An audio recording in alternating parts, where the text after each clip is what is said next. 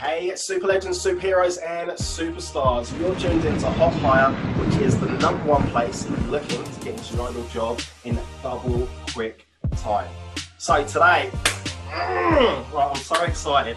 So this next guest, actually not even a guest, a super legend, we're actually connected in a private group. I can't tell you too much about it. But this guy is a seven so one, two, three, four, five, six, seven time world champion. He's a business and leadership coach, but not just at any level, at CEOs, high achievers, and entrepreneurs. And I absolutely love his content that he puts out on social media because he is just just dropping knowledge bombs. So I want to say a huge, massive welcome to James Laughlin. How are you, buddy? Hey, Dre. So good to connect with you, brother. Yeah, you too, man. I like, really appreciate you, you coming on. No, well, you know, I'm very honored to be on. I've been following what you do for a long time because I am working with these CEOs and leaders, and they're always looking at hiring and how they hire better. And so I always try and get your content, share it with them, get them to connect. So what you do is amazing, and I'm really glad that you do what you do. Right, straight back at you. What you do is amazing. So, hey, Super Legends, so sorry to interrupt the show. If you do like what you're seeing, please don't forget to like, comment, and share. Thank you. Yeah, so I'm living in New Zealand. I've been here for 15 years, but I grew up in a very small town in the north of Ireland. And around the age of nine years old, but you're nine or 10, I lifted a set of drumsticks. And the reason I lifted them was because I was frequenting my headmaster's office, the school headmaster, and uh, for all the wrong reasons. I was like a little troublesome nine-year-old, full of fire. Full I don't you. I don't believe you. oh, totally. I didn't know when to close this thing, right? I didn't know what these things were for. So I was in his office all the time, and at one point he was like, "Okay, enough's enough. No more detentions for you." I thought, "Great, no more punishment. This sounds great." He said, "Here's a set of drumsticks." What? Is it you're going to go and meet a drum teacher after school on a Tuesday, and you're going to learn to drum, and that's what you're going to do instead of go to detention? How does that sound? Sounds like the perfect punishment for me. Sounds terrible. So I went along, met this gentleman. He was like my grandfather's age, really soft, gentle, and I really respected him. And he was really amazing with me, helped me learn the basics of drums. Then my personality kicked in, and that was that I'm very like focused, very driven, very competitive. And so I started practicing a little bit more than the other people that were learning with me. It was a group lesson because I wanted to be a little bit further down the track. And in that competitive nature started to compound. So within two or three years, I was 13. I went to the World Solo Drumming Championships. Never had been before. Didn't know any idea what it was about. Went for fun. Ended up winning the thing in the juvenile grade. Had no idea what had happened. Went back the next year. Did the same again. Then things started to like snowball. So I got phone calls from New Zealand, from Canada. I was in my mid-teens. These pipe bands offering me an opportunity to go and travel to their country. So Vancouver, Canada was the first place that I got to go to. Lived there for six years. Was really fortunate to learn so much from the amazing people there, and went on to win another uh, five world titles on top of that. So cool. Then. I came down to New Zealand. Now, thanks, man. Now I feel very, very fortunate. You know, there's um, there's a lot that goes into it, but you know, you're up against people who are phenomenal players. So there's a big respect thing. So when you do get you get honored with that title. It's a it's a big honor, really.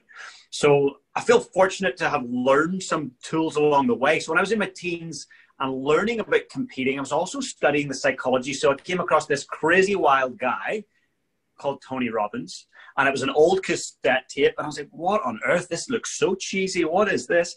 So I plugged the cassette in, and I was like, "This is my guy." This is amazing. So I'm listening to this as a young teenager.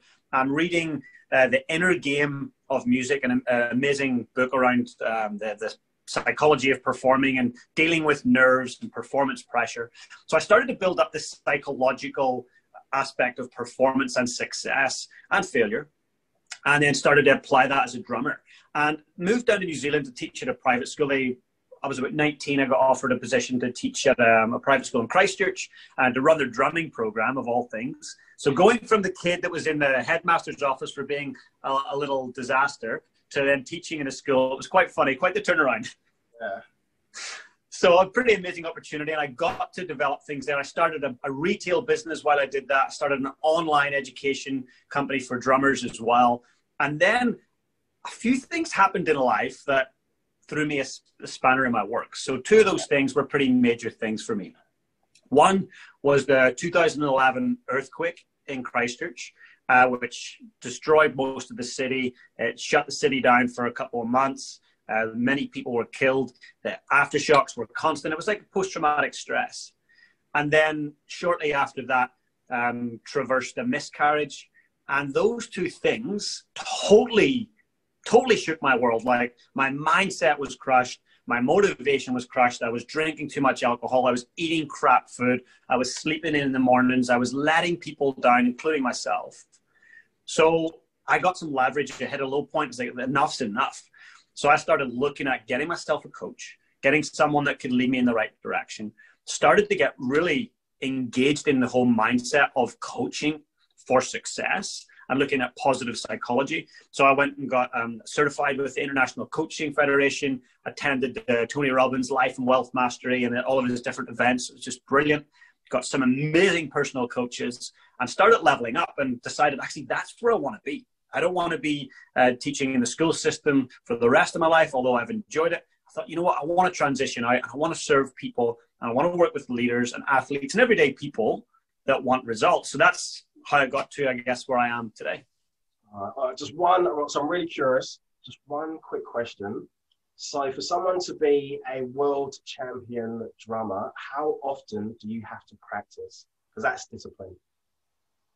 Oh yeah, absolutely. Well, great question. So if I go back, Dre, to when I was uh, say 13, uh, it would have been a typical weekday would have been anywhere between three to six hours of practice on top of school and all that stuff. And then on the weekend, I used to count and time myself. It would have been 16 hours at least, 16, maybe at most 20 hours across a weekend where I'd just be practicing. I had, my hands were bleeding. I had RSI in my teenage years. I had carpal tunnel symptoms. I had all these problems because I was just so focused and there was so much commitment to it. So it's not something I guess that just, hey, you're born as a good drummer or you're born as an athlete. Like all things, it's the hours that you put in. That 10,000 hour rule really applies. Yeah, the practice. Well, oh, I've got so many questions, but I know that we don't have enough time today. So, do you have any valuable you know, tips that you can share with the audience? Yeah, so I guess with your audience, I guess you've got both people who are looking for dream jobs and you've also got people who are hiring and trying to find the right people. Yeah, that's right. Both sides. Yeah. So I would say that the, the big thing, you know, that I'd love to share is, you know, culture is everything. And people don't leave crap jobs, they leave toxic cultures. And the more people that I work with that are in the, the CEO levels dealing with multi million dollar companies, we talk about okay, who's your next hire? What did you learn from the last hire that was great? What did you learn that really wasn't good and you don't want to replicate that? And the one thing that keeps coming up is that don't hire for skills, hire for fit. Hire for the fit. You know, skills can be taught. Anybody can learn skills. So many people are coming out with no work experience and they've got some skills, but they're not being looked at because they've no work experience. So we can't look at you. But you know what? Look at what they do in their life. Are they a member of the team? Have they got amazing skills? Have they proven themselves in a different area? You know, for example, when I would apply for jobs, I'd always talk about my passion for drums. I would talk about some of the achievements and some of the lessons I learned in that area. That helped me get onto the ladder for my first couple of jobs without work experience. So I think for people who are hiring, look at who they are holistically and how they're going to fit into the team. I mean, you might have someone who um, knows how to take a business, scale it, and sell it. And they might have done that with multi billion dollar companies. But if they're not the right fit and they're full of ego and they don't know how to handle people or talk to people, they've got aggression problems, is it worth the cost of having that person in your business? I don't think so. So I think it's super important to really hire for fit. And to do that, you've got to ask great questions. So I look at somebody who's interviewing, they have to be a coach. They're a coach. And what the great coaches do, they ask badass questions. The better the questions you ask, the more understanding you're going to get around who this person is. And if you use a bit of the old FBI, uh, like terrorist negotiator tactics, a little bit of mirroring. So when you know you've got your interviewee coming in chatting, just reflecting back a little bit about what they're doing.